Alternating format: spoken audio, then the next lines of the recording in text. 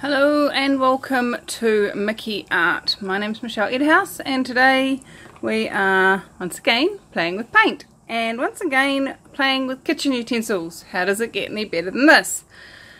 So today I am playing with this amazingly cool um, Japanese Chinese steamer thing. um, so this sits, it's got another lid and it's got another piece underneath and you stick, it in your wok and it steams vegetables or whatever, wontons or whatever. And I've had it for about six years and never used it.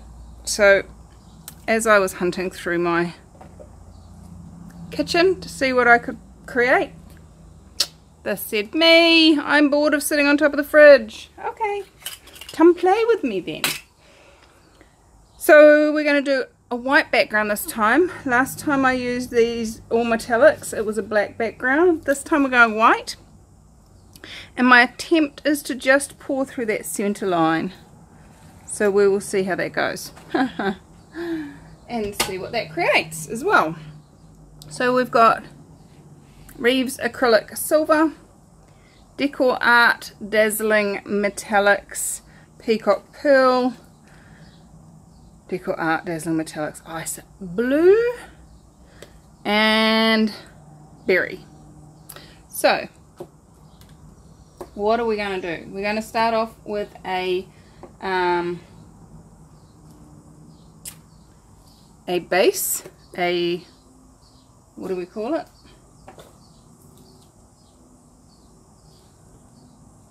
Canvas, that'll do.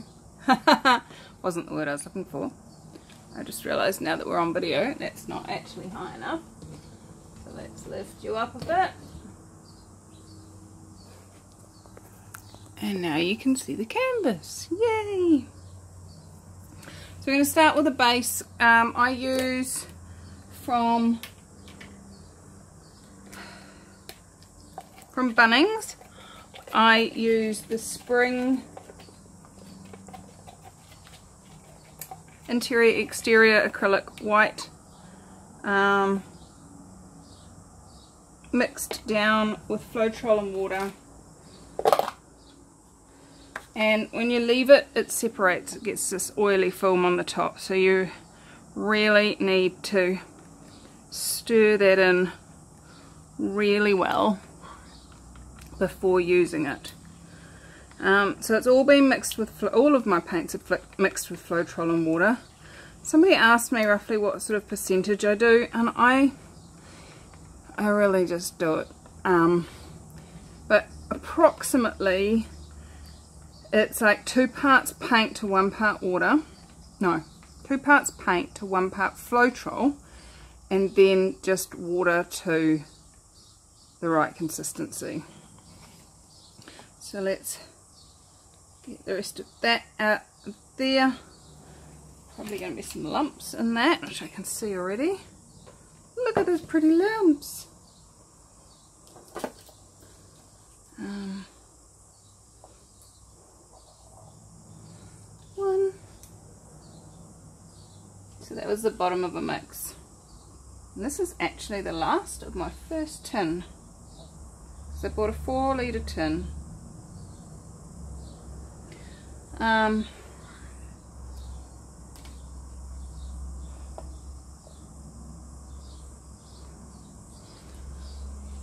let's see if that's enough. So the target with this is to have all one batch so that it all flows the same.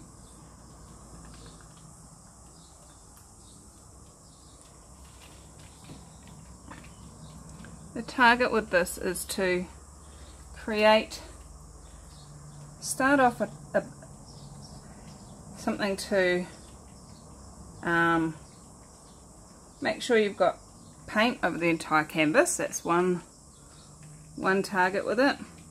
Another target is to help the paint that you're putting on to flow with ease across the canvas and not get all caught up on the dry canvas. Um, my lid is now covered in paint. How's it get any better than that? Oh, I'm not sure I like this new container. I just use whatever containers I've got in the house that I've used, washed out well. I usually wash them wash them by hand and then also put them through the dishwasher and um, that tends to get the residues of anything that was in them off.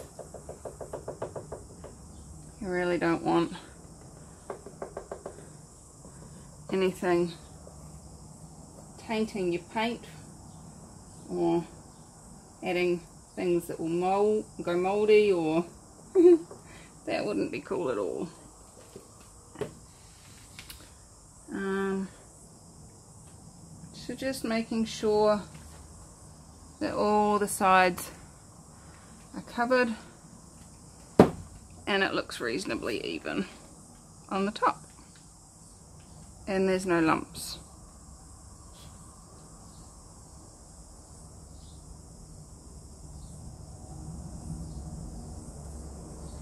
Awesome. Right. So, when I do this, I always have my canvas with push pins in the corners.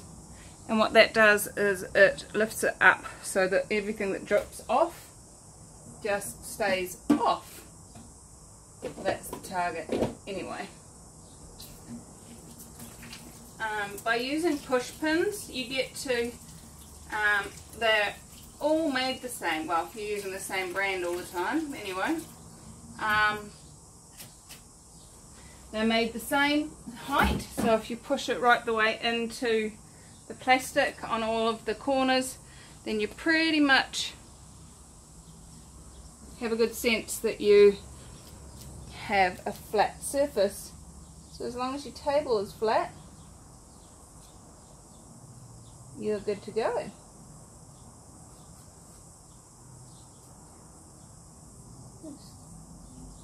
Getting those last bits out. Just washed my hands and now I'm dipping my fingers in again. Alright, let's do this. So,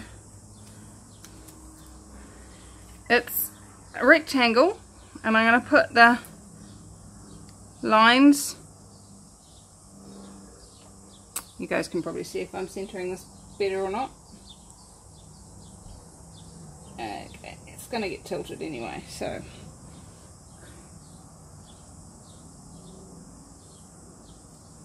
There we go. Alright let's get playing with paint. What colour should we start with guys? We've got not got a lot of the dark blue. Heaps of the peacock, heaps of the silver, and heaps of the berry. So, I'm going to start with the berry. I have resin. Um, I have a couple of drops of silicon in each of the paints.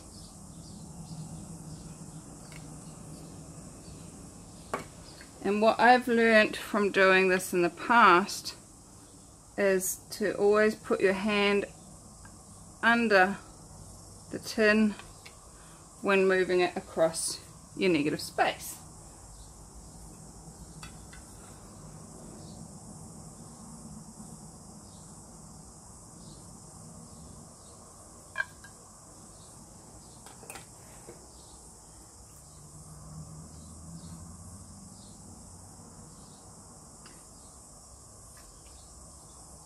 So it's all running through quite nicely and it's just going to be whatever pattern shows up in the end is what we're after. Now with this it is completely encased in the circle so the paint can't escape until we lift it up. It's not going to seep out like it has with other ones.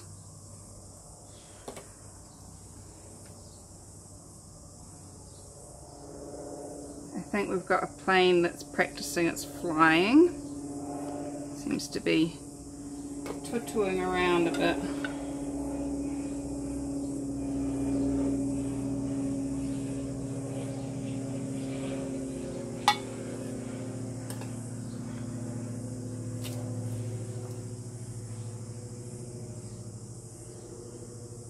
I'm not doing these in perfect order. I am following the energy, going with whichever one yells out the loudest.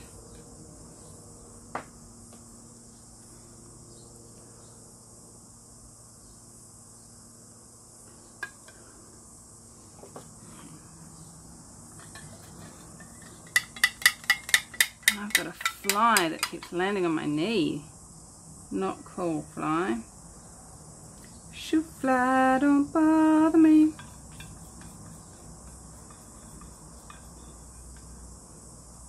Alright, that's the end of our dark blue. Gonna go some more pink. Actually, I think that's actually enough. I'm gonna let it just Hmm. Is it enough peacock? Yes. Is it enough berry? No. Is it enough silver? Yes. Okay, so berry, where do you want to be? Just in the centre? Or another stripe right across? Part way, part way.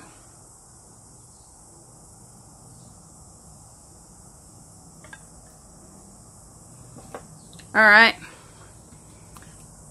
I'm looking down into zoom you in see what you can see um, down in there there is it's, it's pretty much filled up the entire ring there's places where it hasn't quite hit the ring um, but you can't see that sorry. Alright. Are you ready for the big reveal? I'm gonna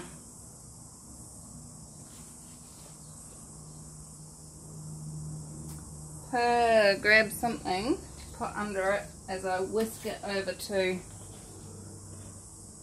it's not quite big enough whisk it over to the edge because I don't want driplets across there um,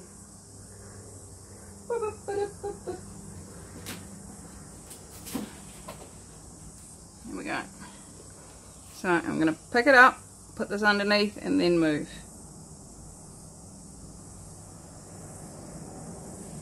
straight into the sink. Here we go. Wow! That's cool! Oh, I love it! Yay! Oh my god! Guys, check it out! Oh! It's so pretty!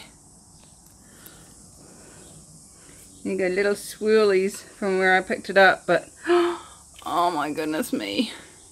That's so pretty so, so pretty. I gotta take a photo of that. oh, wow. Alright.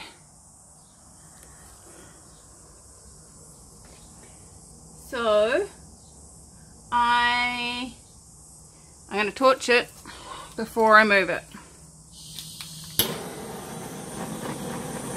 There's definitely air bubbles in there.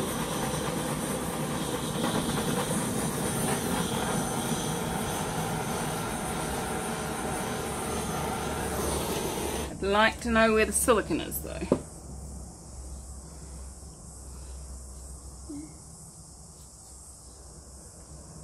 Alright.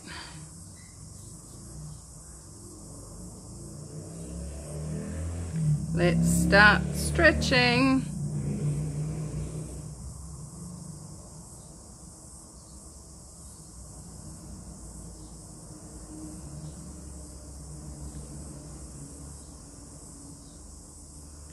Actually wondering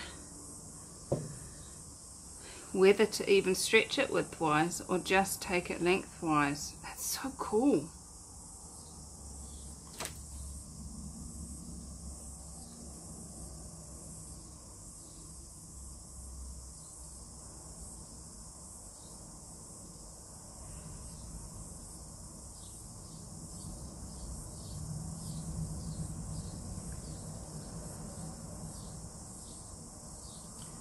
Sorry about going quiet, but I'm just absolutely mesmerized by these colors.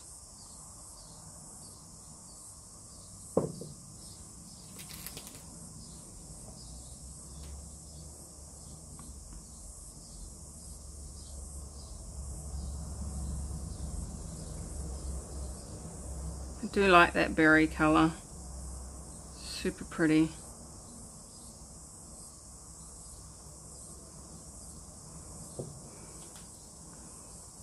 Okay, I am going to go wide a little bit. Did you notice how I um kind of brought the bulk of the paint back into the middle, allowed it to just settle.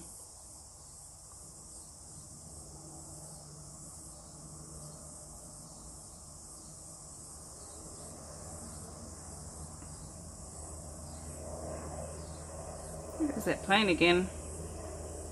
I think somebody's having lessons.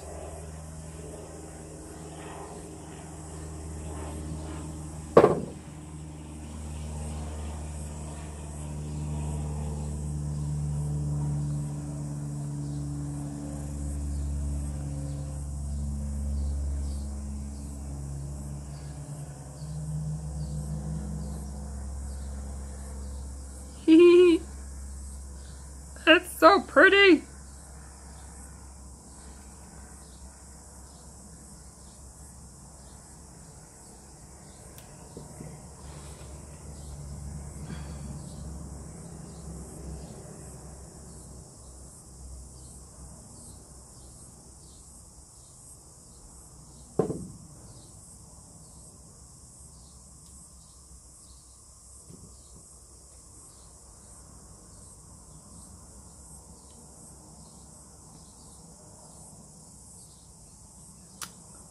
Hmm.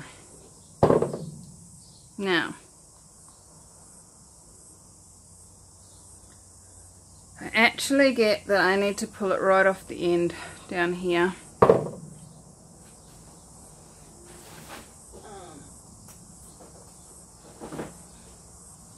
But before I do, I'm going to learn from my son. He'll be pleased to know that I learned from him. grabbing this little, what size is it, 4 inch triangle canvas. If I can get the plastic off with my gloves on.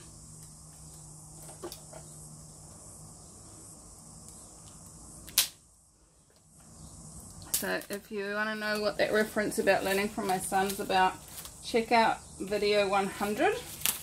Um, he painted with me and what he did was he painted, did a spiral pour on a big canvas and then when he poured off the extra paint, he poured it onto a smaller canvas. So that's exactly what I'm doing right now.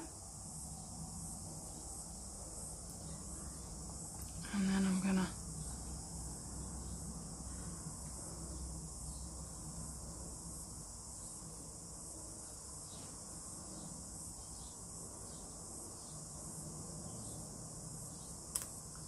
sideways a bit.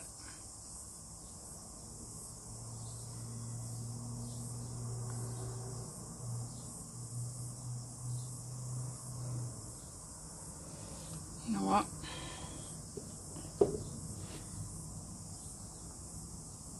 I like that. I really, really like that.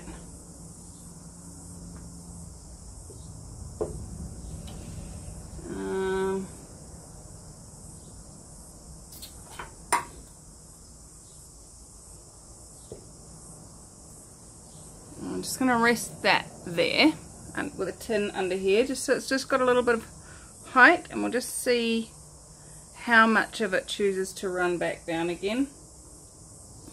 But here's what got created.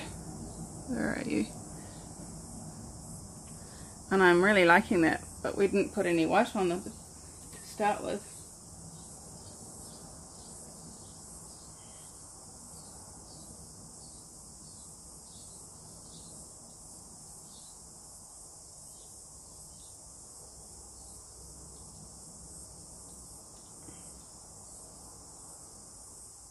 being very aware to keep this well away from the other painting.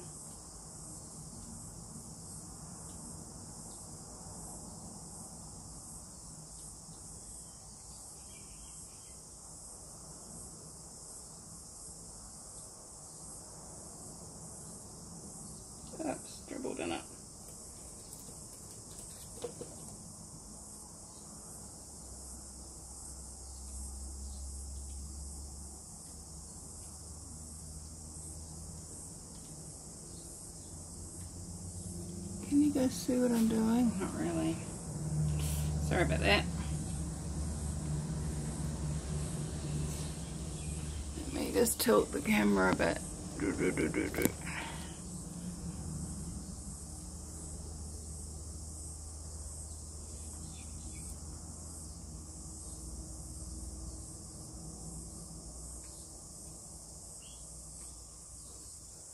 Got some more white over here.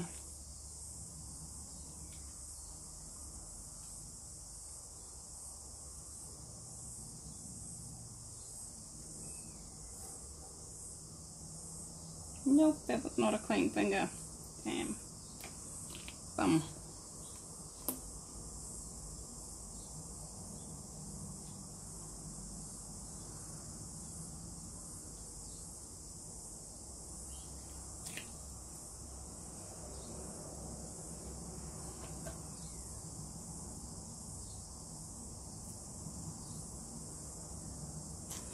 So, it's a little bit complex when you're dealing with multiple canvases, to be honest. It's one of those things that you want to keep making sure that you're checking back in on the original canvas.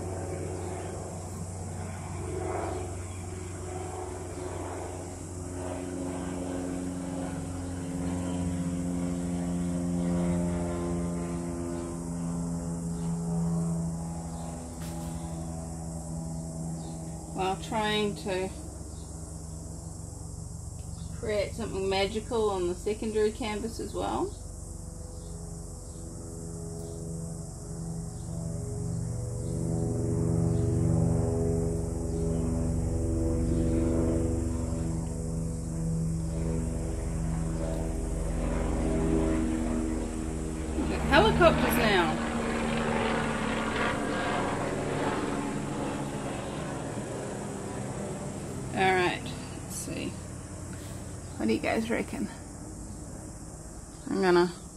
Put that up here. Uh, right over here so you can still see it. Move that so it gets some light.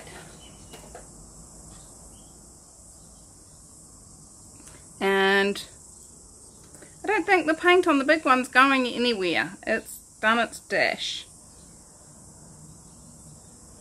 You know what? I thought that this was going to be let me straighten you up again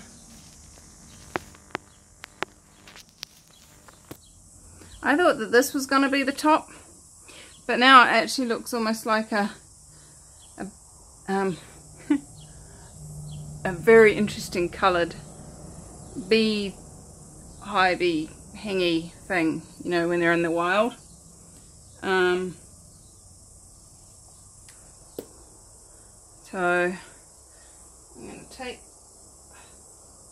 that off there, set that back down, and I just realised that I don't have pins on this canvas, so I'm going to sit it on top of that tin. Alright. I like it. I like it a lot, just the way it is. So I'm going to take my gloves off so I don't drip all over everyone. Um, and I'm just going to do a bit of torching.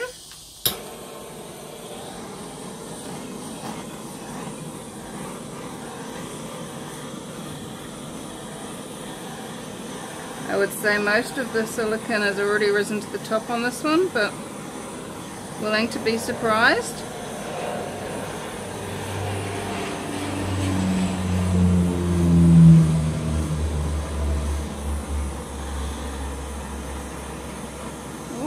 Some coming through in some areas.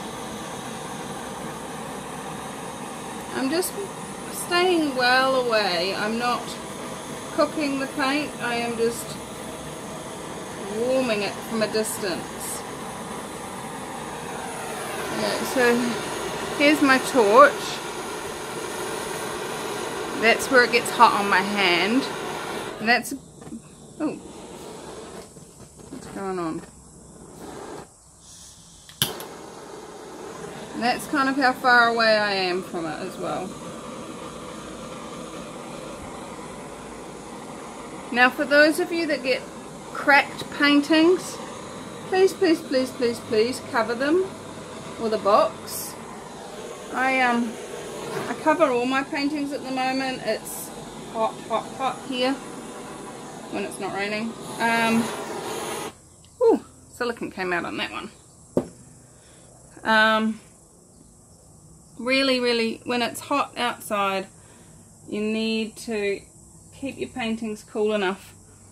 Look at that.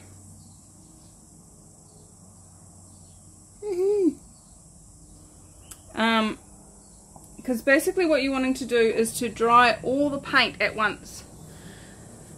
Otherwise, the top creates a film and the bottom is still wet.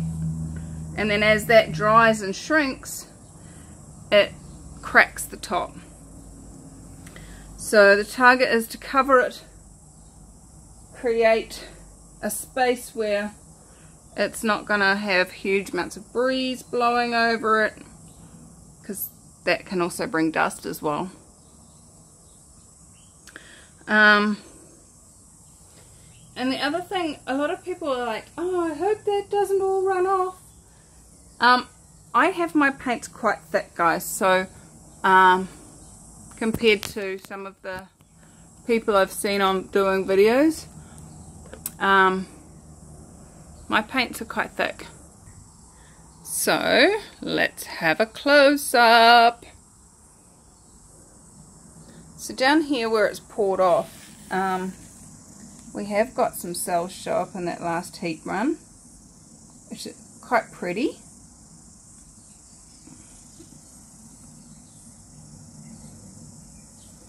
And then most of this is just the way it's dripped through.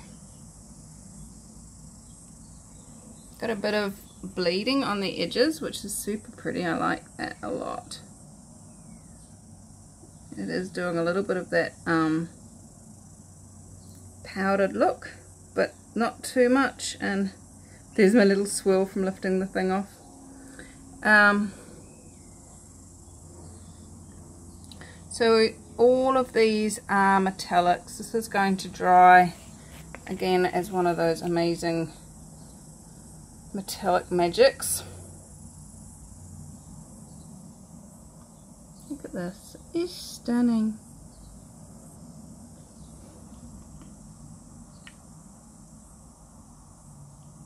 Through that centre we've got that large dark blue which I'm really pleased about because I like that. So there you are guys. That's the big one. And let's take you over to the little one. It's got cells and swirls.